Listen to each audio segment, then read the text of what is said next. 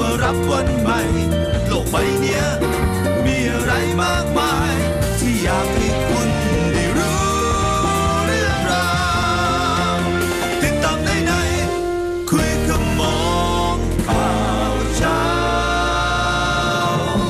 แล้วก็คุณผู้ชมวันนี้ผมจะพาคุณผู้ชมไปตามกันที่เรื่องของราคาแอร์กันนะครับเรื่องของแอร์แอใช่ร์อะคไรรับฮะอืมแอร์ธรรมดานี่แหละฮะแอร์คอลิชันแอครับร์คอคุนณดิผู้ชัชนมนะครับนะฮะไม่ใช่แอร์กี่ซึ่งนะอะค่ะแอร์นะครับเขาบอกว่ามียอดขายที่เติบโตมากค่ะในช่วงหน้าร้อนนี้ อืมโดยเฉพาะเมษายนนี้นะครับค่ะ คุณผู้ชมครับ เนื่องจากหลักๆเหตุผลเขาบอกว่ามาจาก ตลาดอสังหาริมทรัพย์ที่มีการเติบโตโอ้โดยเฉพาะคอนโดมิเนียม มีการซื้อใหม่ไม่ใช่เฉพาะแอร์เท่านั้น มีทีวี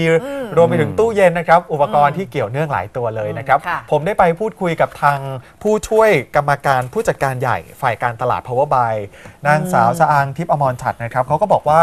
ค่าแรงที่เพิ่มขึ้นทำให้คนเนี่ยมีกำลังซื้ออมประกอบกับการครับเติบโตธุรกิจอสังหาริมทรัพย์ก็ทำให้ตลาดที่เกี่ยวเนื่องเครื่องใช้ไฟฟ้าทั้งหมดเติบโตไปด้วยค่ะโดยเฉพาะช่วงหน้าร้อนนี้เป็นช่วงขายดีของสินค้ากลุ่มเครื่องทำความเย็นคุณผู้ชม รวมถึงการเปิดตัวสินค้าใหม่ๆ ที่ประหยัดไฟมากขึ้นในช่วงไตรมาส 2 นี้ครับ เพราะว่าไตรมาสแรกเนี่ยสินค้าจะมีการเปิดตัวใหม่อืมๆที่ต่างประเทศค่ะแล้วก็จะเข้ามาในบ้านเราในช่วงไตรมาสอืม2ไปดูยอดขายเครื่องปรับอากาศกันบ้างโดยเฉพาะที่ Power Buy ไตรมาสแรกเนี่ยโตถึง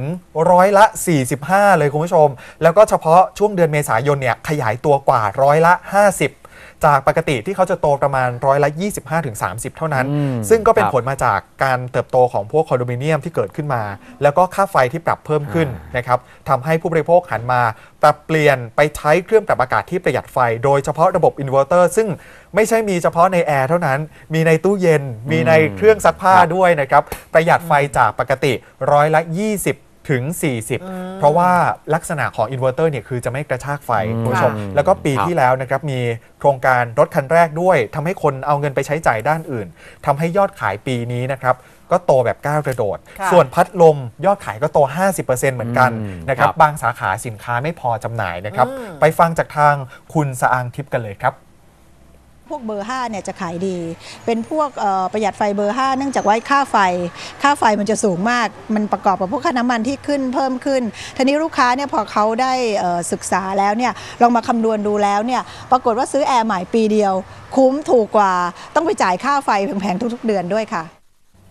ส่วนผู้บริโภคที่กำลังมองหาโทรทัศน์อยู่นะครับอืมก็รอดูไปก่อนได้ เพราะว่าคาดว่าไตรมาส2เนี่ยตลาดเครื่องใช้ไฟฟ้าเนี่ยจะคึกคักนะครับ ก็คือตั้งแต่เมษายนนี้ไปแหละ ค่ะ ตลาดเครื่องใช้ไฟฟ้าโดยเฉพาะทีวีเนี่ยจะคึกคักจากการทำกิจกรรมการตลาดกระตุ้นยอดขาย เพื่อที่จะปล่อยสินค้าที่เสี่ยงต่อการเปลี่ยนแปลงทางเทคโนโลยี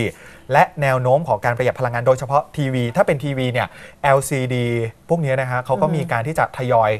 หยุดผลิตกันแล้วอืมเขาก็จะเริ่มไปเปลี่ยนเปลี่ยนฮะไปเป็นเทคโนโลยี LED แล้วก็ใช่เป็นทีวีดิจิทัลใช่แทน รวมไปถึงกล้องดิจิทัลนะครับอืมบอกเลยว่าช่วงไตรมาส2เนี่ยจะถูก ก็คือช่วงเมษายนยาวไปเนี่ยฮะจะถูก เพราะว่าตอนนี้ซัพพลายเออร์เขากำลังรอความชัดเจนของ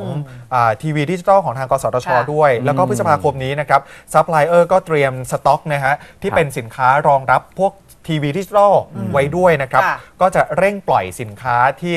อาจจะเรียกได้ว่าโลเทคในอนาคตออกมาอืมนะครับครับ ช่วงนี้ถ้าใครจะเลือกหาซื้อก็เรียกได้ว่าเป็นช่วงที่เขาจะมีการทำการตลาดกันเข้มข้นเลยค่ะนะครับครับอ่าอืมปัจจัยหนึ่งของแอร์ก็คงจะเป็นเพราะว่าอากาศมันร้อนด้วยใช่นะครับที่ขายดีนี่นะเรามารับวันใหม่โลกใบเนี้ยมีอะไรมากมายที่อยากให้